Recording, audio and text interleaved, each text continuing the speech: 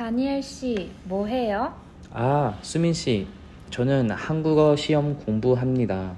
한국어 수업 어때요? 수업은 재미있어요.